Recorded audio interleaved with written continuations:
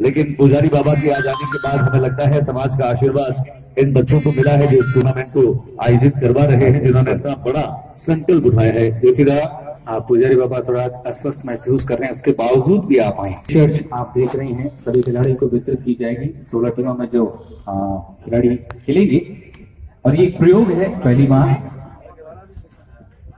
पुष्टिकर शैक्षणिक एवं खेल कूद आयोजन समिति किया है, उनका मैं ज़रूर से नाम लेना चाहूँगा और बहुत धन्यवाद देना चाहूँगा मैं उनका कि आपने जो सहयोग दिया है स्पॉन्सर्स का बड़ा शुक्रिया अदा करता हूँ।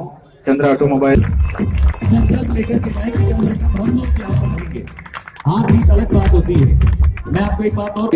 हम रिक्वेस्ट करें किसी से कि यार, अपने समाज का, जो कि इस बीकानेर के बहुसंख्यक लोग हैं हम, बहुत प्रभावशाली। वाकई में बहुत मेहनत की है। और ये मेहनत का नतीजा है कि आज इतना बड़ा टूर्नामेंट यहाँ पे गंगा जी ने कहा था कि वास्तविक में एक सोना का जो खेल इसमें सभी लोगों को अगर हार्दिक तरह से आना चाहिए आदमी के उन्होंने जो अपना सहयोग दिया है, मैं को धन्यवाद देता हूँ। और कि हमारे पुष्कर बच्चों को आप सभी लोग तन मन धन से सहयोग दिए जिससे कि हमारे पूरे राष्ट्र में पूरे भारत में हमारे बच्चे जो है पुष्कर समाज के आगे जाके नाम करें, अपने समाज उज्जवल करें और हमारे समाज का नाम उज्जवल करें। धन्यवाद।